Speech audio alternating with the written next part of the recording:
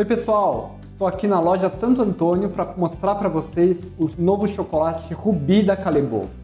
É o quarto tipo de chocolate no mundo inteiro e a gente vai fazer hoje um ovo de colher com um brigadeiro de chocolate Rubi para você aí conseguir lucrar muito nessa Páscoa e conseguir levar uma novidade para os seus clientes ou então para os seus familiares. Vamos lá? Para começar, eu tenho que temperar o meu chocolate Rubi.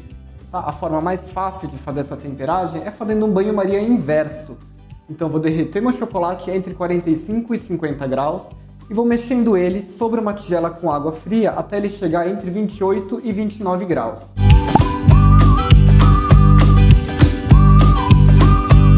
Prontinho, ele já está pré-cristalizado, ele já está temperado, já posso utilizar.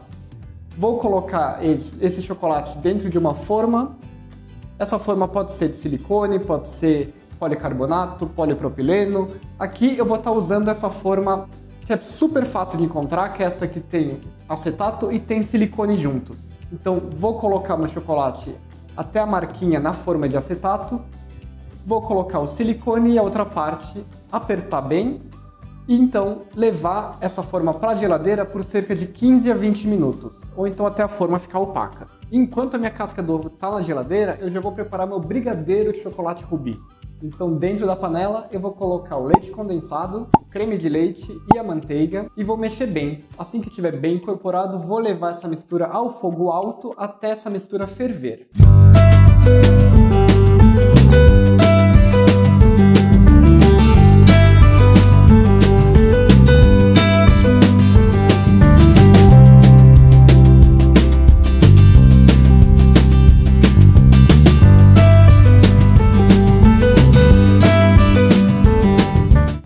mistura começar a ferver, eu vou abaixar o fogo e vou acrescentar o meu chocolate rubi e vou mexer bem até todo o chocolate derreter e então trabalhar bem até ele ficar numa textura de creme, que é a textura do nosso brigadeiro cremoso.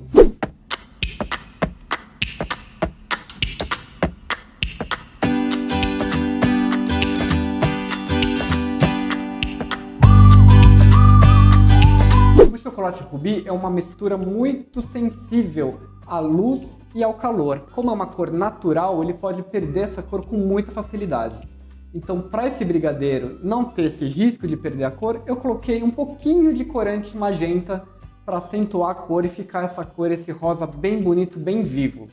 Mas lembrando que o corante é opcional, se você não quiser colocar, não tem problema. O brigadeiro pronto, vou levar ele para resfriar. E já deu tempo da minha casca de chocolate já endurecer, vou tirar ele da geladeira Vou retirar a parte do acetato, retirar com cuidado o silicone e no que eu virei a casca na minha mão, prontinho, já saiu.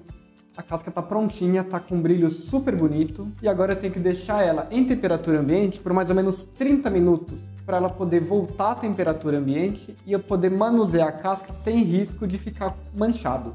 Meu brigadeiro já está frio, então eu vou colocar mais ou menos metade do meu brigadeiro dentro da casca usando aqui um bico liso, ou então sem bico, não tem problema. E a outra metade eu coloquei aqui num saco um bico chamado Santo Honoré, que é um bico muito comum, muito famoso na França, porque ele, ele decora essa sobremesa que tem esse nome, Santo Honoré. E a gente vai usar esse bico para decorar o nosso ovo.